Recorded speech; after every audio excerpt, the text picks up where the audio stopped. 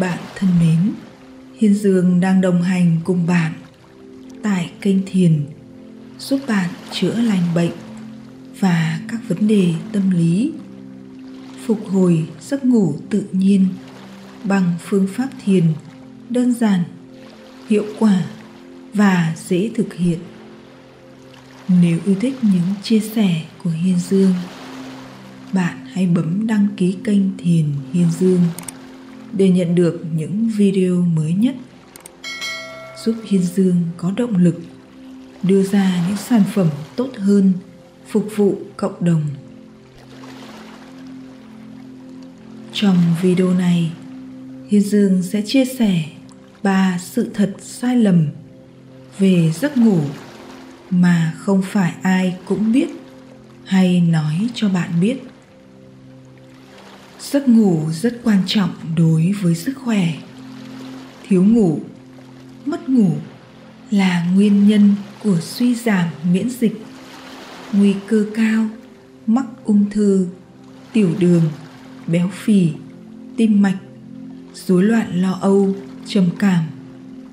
Tuy vậy, chúng ta đang cố thủ trong đầu những suy nghĩ rất sai lầm về giấc ngủ sau đây là ba sự thật sai lầm phổ biến. Sai lầm thứ nhất, giấc ngủ không quan trọng. Hô khẩu hiệu, chỉ ngủ khi chết. Có những người phát kiệt sức lực của mình với trách nhiệm, kỳ vọng công việc, dự án của chính họ. Không cho phép mình có giấc ngủ bình thường cảm thấy lãng phí thời gian khi ngủ. Họ cho rằng có thể ngủ bù cuối tuần hay lúc rảnh. Rất tiếc, mọi nghiên cứu đều cho kết quả rằng bạn không thể bù lại những tổn thất mà bộ não của bạn phải gánh chịu khi bạn thiếu ngủ hoặc mất ngủ. Trung bình một người bình thường, dành thời lượng một phần ba thời gian cuộc đời để ngủ. Giấc ngủ là nhu cầu bản năng, như bạn hít không khí hay ăn uống để duy trì sinh tồn. Bạn còn trẻ, bạn có quyền nghĩ rằng tàn phá một chút giấc ngủ chẳng hề hấn gì. Tuy nhiên những suy giảm trí nhớ, suy giảm miễn dịch, rối loạn cảm xúc và một loạt sang chấn, hệ lụy sau đó là thứ bạn không thể nhìn thấy ngay tức khắc. Bởi vậy, hãy nhìn nhận giấc ngủ là một tài sản quý giá. Để đến lúc các bệnh lý tìm đến bạn và bác sĩ kết luận nguyên nhân chính là do nếp sinh hoạt của bạn, thì có lẽ lúc ấy đã rất muộn màng. Sai lầm thứ hai, nhiều người tin rằng đồ uống có cồn giúp dễ ngủ. Khi sử dụng rượu, bộ não của chúng ta thường mất ý thức. Bạn tưởng rằng mình dễ chìm vào giấc ngủ, nhưng bản chất đó là hiện tượng não, được an thần.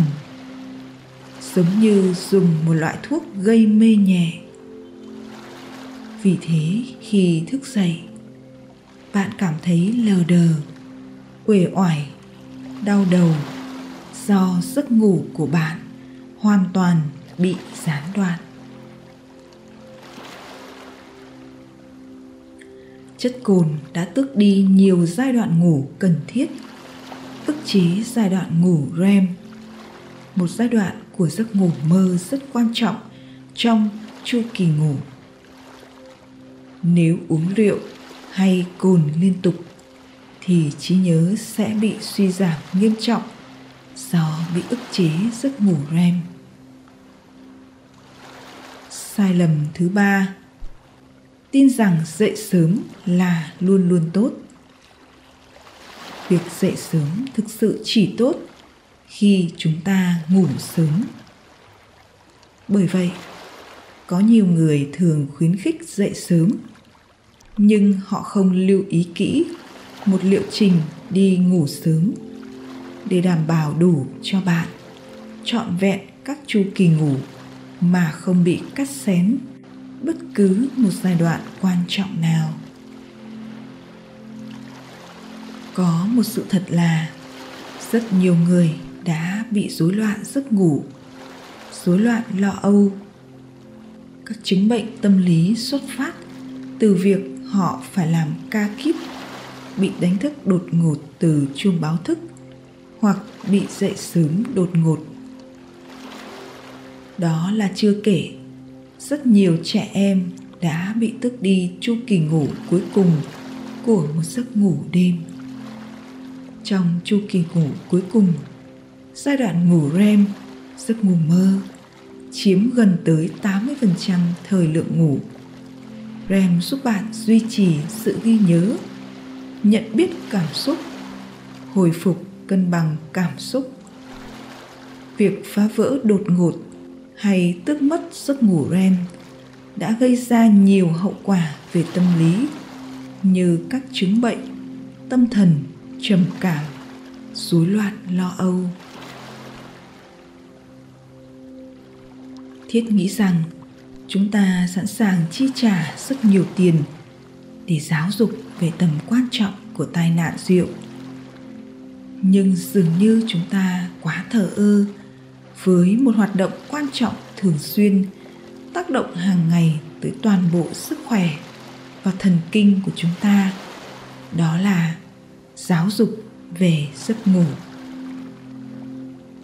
Giấc ngủ là loại thức ăn nuôi dưỡng cho sự sinh tồn của chính bạn. Liệu pháp tự nhiên để hồi phục giấc ngủ có rất nhiều, trong đó có liệu pháp vô cùng quan trọng dễ thực hành tại nhà. Đó là thực tập thiền. Rất hoan hỉ được đồng hành cùng các cô chú, anh chị em. Trên hành trình chúng ta tìm lại giấc ngủ ngon của chính mình.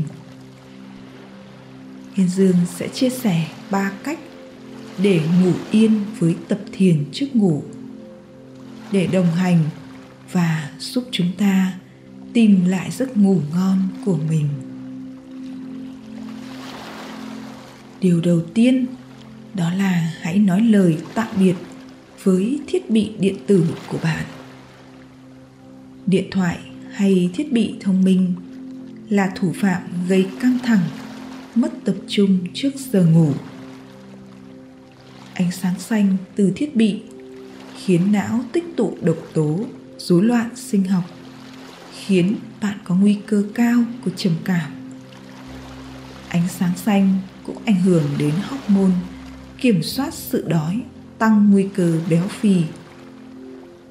Ánh sáng xanh từ thiết bị khiến bạn ngày càng tỉnh táo do suy giảm nồng độ melatonin gây buồn ngủ. Từ đó, bạn sẽ rơi vào chứng mất ngủ kéo dài, suy giảm trí nhớ trầm trọng hãy đảm bảo bạn sẽ cho thiết bị của mình đi ngủ trước khi bạn ngủ một số nhà tâm lý khuyên rằng với 60 phút trước ngủ, bạn chỉ nên làm một số hoạt động như đi tản bộ, đi dạo cùng thú cưng, vệ sinh cá nhân và dành từ 20 đến 30 phút cho tập thiền, nghe nhạc hoặc đọc sách. Nghĩa là các hoạt động này không có sự có mặt của thiết bị điện tử.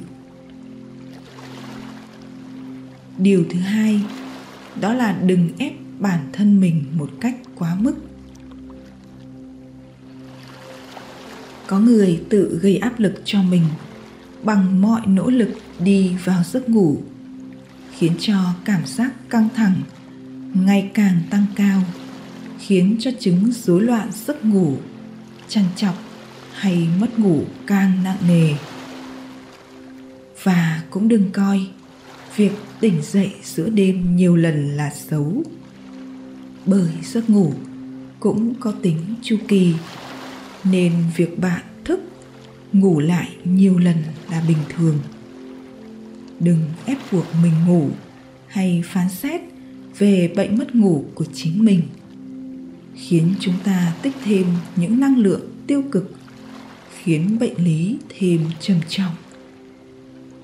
Nếu bạn trằn trọc hay tỉnh giấc, khó đi vào giấc ngủ, hãy nắm lấy từng khoảnh khắc hiện tại, thả lỏng mọi cảm giác xuống. Hãy thuộc lòng một số từ khóa mà hiên dương thường khuyên các bạn, đó là không cố tĩnh tâm, không cố tha lỏng không cố ngủ. Có cảm giác gì trỗi lên, tôi sẽ thả lỏng cảm giác đó xuống trong tâm trí. Bạn đọc điều này trong tâm trí nhiều lần sẽ giúp não có phản xạ tốt, giảm dần căng thẳng và bạn sẽ nhanh chóng chìm vào giấc ngủ. Điều thứ ba, thiền nằm hoặc thiền buông thư quét toàn thân sẽ giúp bạn thả lỏng, dễ ngủ. Thiền buông thư là phương pháp thiền đưa sự chú tâm và có mặt để thả lỏng sâu tới từng vùng trên cơ thể, giúp từng tế bào được chữa lành, giúp bạn có giấc ngủ sâu, trạng thái nghỉ ngơi, chìm vào giấc ngủ sẽ tự nhiên đến mà không cần cố gắng. Chỉ cần bạn tập chuyên cần, kiên trì với phương pháp này, bạn có thể nghe dẫn thiền một số phiên bản dẫn trước ngủ tại kênh thiền hiên dương để hỗ trợ tốt nhất cho giấc ngủ của bạn.